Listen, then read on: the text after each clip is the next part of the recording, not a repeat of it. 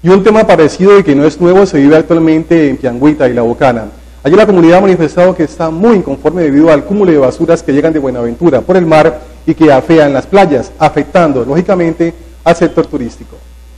Hablar de Piangüita y La Bocana es sinónimo de descanso y diversión para quienes viven fuera de estos sectores, pero para sus habitantes es un lugar lleno de problemáticas y al que sienten, según ellos, que el abandono del Estado es total. Aquí, según sus moradores, el problema mayor que tienen es ver estancado el turismo por culpa de una falta de política en el tema de manejo de basuras. Que no las causa el municipio de Buenaventura y hasta esta hora no hemos recibido ninguna ningún auxilio ni ninguna ayuda del municipio ni del gobierno nos colabore respecto a la basura, porque nosotros la problemática aquí el turismo más es todo de la basura. Las playas de La Bocana y Piangüita ofrecen al turismo un lugar propicio para descansar, pero el esfuerzo lo están poniendo sus habitantes para que lleguen más visitantes, porque según sus palabras las administraciones los han dejado solos. Aquí nos toca enterrar la basura hacia el fondo de la montaña porque no tenemos un centro de acopio, no hay una demoledora de basura, el municipio del gobierno nos ayude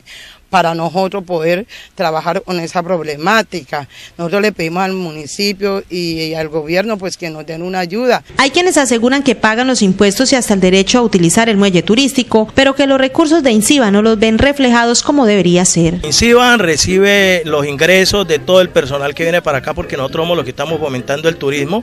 INCIBA no se hace notar por ninguna ningún lado ¿sí? Es más, en las personas que hay acá tenemos que pagar un ingreso al muelle cuando somos nativos, que yo creo que es injusto, si nosotros somos los que le estamos dando las entradas a través del turismo a Inciba debería de tener un tratamiento diferente con todos nosotros los nativos de estos sectores. Quienes viven en La Bocana y Piangüita dicen que están cansados del abandono del Estado y que no quieren ahogarse entre las basuras, esperando a que las entidades ambientales comiencen a interesarse por esta zona turística que también es del municipio de Buenaventura.